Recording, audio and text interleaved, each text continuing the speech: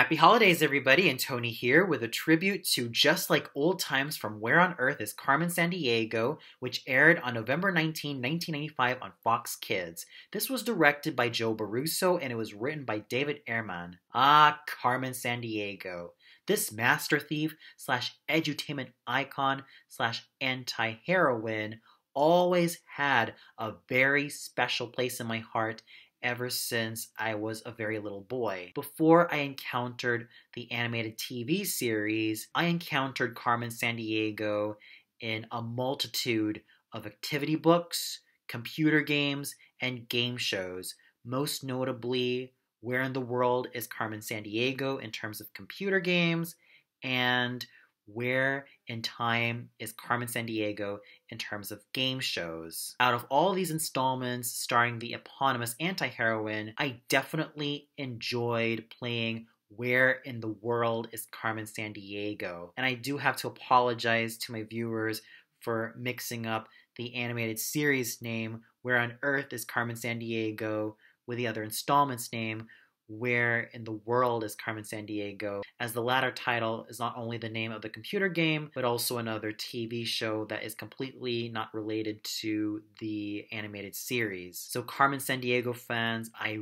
really hope you accept my apology in the last bit of my previous tribute video. Going back to my memories of Carmen Sandiego, I definitely enjoyed playing Where in the World is Carmen Sandiego. After every required activity that I did during my computer class, I would always ask my instructor, let alone demand my instructor, to let me play Where in the World is Carmen Sandiego. I had so much fun with this game thanks to finding out clues, traveling to different locales in the world, finding out details about the criminal of the hour, and most of all, nabbing that said criminal thanks to Acme's super detectives. But I'm not here to talk about the computer game. As you noticed, I'm here to talk about the animated series and its Christmas special. One notable feature of this animated series was its opening theme, based on Wolfgang Amadeus Mozart's Singt dem große Bassa Lieder from his opera Die Entführung aus dem Serail. I definitely loved this piece of music ever since I was a very young lad because of the use of percussions as well as the woodwinds and strings all coming together to create such a powerful experience and when you back it up with the chorus, you know that any rendition of Singt dem große Bassa Lieder will definitely be worthwhile. In fact, the chorus of the Janissaries, aka Singt dem große Bassa Lieder, is that one piece of music from Die Entführung aus dem Serail that I always look forward to aside from Constanze's grand aria Martern aller Arten. Where this theme song is concerned, they implemented some pop beats as well as lyrics that detail us, the viewers, of what the show is about. And I do consider Where on Earth is Carmen Sandiego's to be one of my most favorite animated series theme songs of all time. Going to this particular episode, we are introduced to teenage sleuths Ivy and Zach spending their holidays ice skating at Rockefeller Center. While Ivy is an absolute queen on the ice, Zach, although he listens to his motivational records via tape, is not so fortunate. That is until they have a call from the chief who is not played by Lynn Thigpen, but voiced by Roger Bumpass, stating that Carmen Sandiego about to steal a transmission tower. As what any hardcore Carmen Sandiego fan would expect, the chase ensues, with Ivy and Zack on the prowl until they reach a cave, and just as Ivy and Zack slip down, Carmen sardonically remarks that she gives them a 5 for style, but 10 for persistence. The chase further ensues until she gets away. Ivy and Zach manage to escape that death defying feat of trying to capture Carmen while she is submerging via a submarine in a cave of ice water, but they weren't as fortunate. We then head back to Acme headquarters where Ivy and Zach are warming up, but poor Chief has a virus and even states that the transmission tower is used for gathering various signals from TVs to phones to even computers, which then make Ivy and Zach wonder why would Carmen need a transmission tower in the first place. And after and then after that bit of sleuth work, we see Zach printing out a long list of gifts that he mockingly states to Ivy that she should buy those gifts for him until Ivy wraps him up in that said paper. And this also leads to one of the funniest lines when they get into the elevator that Zach says that when he ends up accidentally cutting himself from the paper that he was wrapped in, he says that he hates paper cuts. In Vile's headquarters, we see Manny, the technician, operating on the chief, who then recognizes Carmen and reminisces all the times that they had together. Even Carmen states that she doesn't want any uber elaborate schemes, but she'd like to just spend this time between her and the chief to have a little bit of a chat and a catch up. Speaking of catch up, the chief even reminisces how Carmen managed to nab the other thieves and beat them to their own game while attempting to rob something from the Santa Lucia festival in Sweden. And just by looking at that particular moment, I kind of had that feeling of nostalgia in me because five years ago, I did spend my Christmas in Sweden and heard a lot about the Santa Lucia festival that would be a tradition every Christmas. However, there is no time for further reminiscing as the chase continues to ensue, with the first clue coming from Acme headquarters. It consists of a doorknob, a measuring stand, an eye, and someone saying the letter Ah. Carmen is able to decipher that this is Handel's Messiah, and we are treated to a nice animation of George Frideric Handel conducting the Hallelujah, which I thought was just absolutely fun. It turns out that this particular word puzzle signifies that the original manuscript of Handel's Messiah is at the British National Museum in London. Carmen suits up, heads to London to nab the score until she's about to be stopped by Acme's agents in London. Unfortunately for the London Acme agents, Carmen escapes especially when she sings Hallelujah, Hallelujah from Handel. And I thought that that was an absolutely fun moment. And she was able to sing that in such a feisty that I was almost rolling on the floor with laughter. The Chief's condition has been getting a lot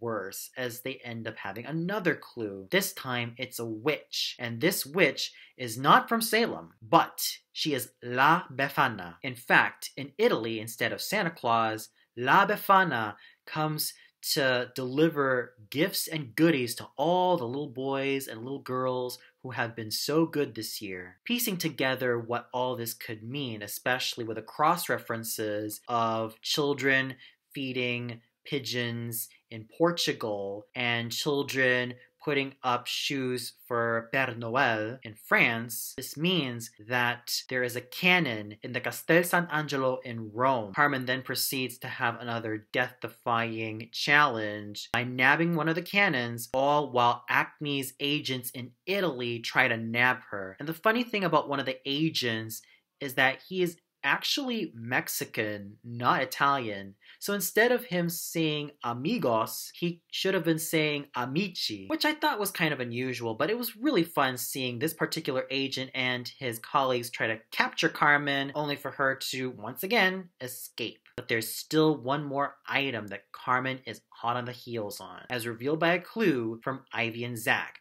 stating that she is on thin ice. And through a word puzzle of an O, comma 10 plus a cannon and something that explodes, Carmen and her cronies then decipher that it is O Tannenbaum, a German expression for O Christmas tree. Carmen not wanting to acquire any of the Christmas trees in either Germany or even Washington, D.C., she decides that it's best for her and her cronies to jet off to Rockefeller Center in New York, only to find herself at the hands of Ivy, Zach, and the other Acme agents who are anticipating her arrival. Crafty as ever, Carmen then jets off with a Christmas tree. But Zach has another plan up his sleeves as he has a tracking device straight for Carmen where they're going to head over to her hiding spot. Carmen's celebration seems to go full swing until the Acme agents arrive, capture the cronies, but once again, Carmen makes a getaway. However, she has left some presents for the Acme agents. It turns out to be Carmen dolls, who state that the only Carmen they'll ever have is this particular doll, as the dolls greet them Merry Christmas. Even Ivy was rather touched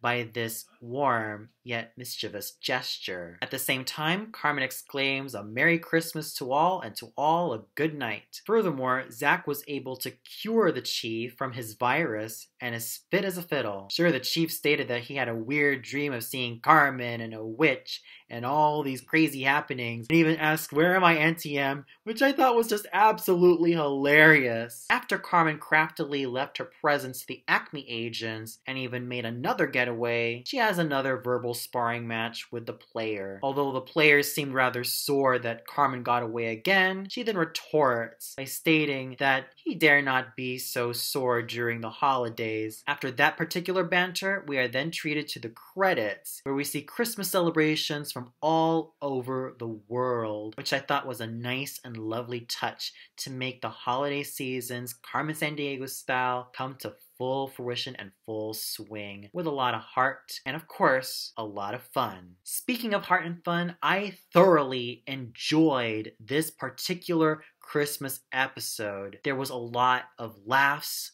a lot of action, suspense, thrills, and it definitely left me on the edge of my seat, especially when it came to the heists Carmen got herself into. Whether it be attempting to steal the score of Handel's Messiah at the British National Museum of London, or even hoist one of the cannons of Castel Sant'Angelo, I was definitely, definitely enthralled watching Carmen Sandiego do her thing. This never left me bored, and it left me thoroughly excited to see what was coming next. And speaking of laughs, it was always fun watching the chief get himself into this particular predicament, as well as the cronies try to find out what all of these word puzzles actually mean, only for Carmen to time and time again trump them by guessing the right answer to those riddles. This, along with the entirety of this particular animated show, was backed up by some very fine performances. Yes, we had Jennifer Hale as the sassy, level headed, and absolutely gorgeous and intellectual Ivy, Scott Menville as the amusing, clever, and crafty Zach, Roger Bumpass as the absolutely hilarious Chief. Although, if you ask me, I would have loved to have Lynn Thigpen do the role of the Chief because she was not only the chief I grew up with, but one that I associated with so much because of her commandingly strong screen presence. But at the end of the day, beggars can't be choosers, and I still enjoyed Roger Bumpass's portrayal of the chief and his spin on this particularly comical figure. However, the real star of this particular Christmas episode, as well as the entire series, was none other than Rita Moreno herself. I'm not just saying this because she celebrated her birthday about nine or ten days ago. I'm saying this because she was able to find a great balance between Carmen's sense of mischief and adventure, being such a sultry and sexy character that I definitely loved seeing on screen. I am confident that all of my fellow musical fans will know Mrs. Moreno as Anita from West Side Story. Her penchant for playing all these spicy, sexy, and vibrant women of Latina origin has certainly has certainly put her on the map in the acting world, and hearing her as Carmen Sandiego is an absolute treat. She was able to find that wonderful balance between being mischievous and a trickster with being this sensual woman without making her too much of a femme fatale. In fact, the biggest mistake when it comes to playing Carmen Sandiego is making her too much of a nasty femme fatale. She's not necessarily evil, but she really knows how to play mind games to those who dare challenge her. And Rita Moreno's take on Carmen Sandiego gives us, the viewers and listeners, a lot of pleasure when it comes to how Carmen plays her games along with her pawns, as well as those who dare challenge her. And I salute Rita Moreno for a job splendidly done. Another facet about another facet about this show that I really liked was having Ivy and Zach siblings because they demonstrate a familial closeness with each other as well as showing us that just because you have a girl protagonist and a guy protagonist doesn't mean they have to be together. Making Ivy and Zach siblings in fact shows that you can have a strong platonic relationship. And they do it exceedingly, especially thanks to Jennifer Hale and Scott Menville giving off such fine chemistry, working off of each other and making such fine magic as the sleuth siblings. And for those of you who caught just like old times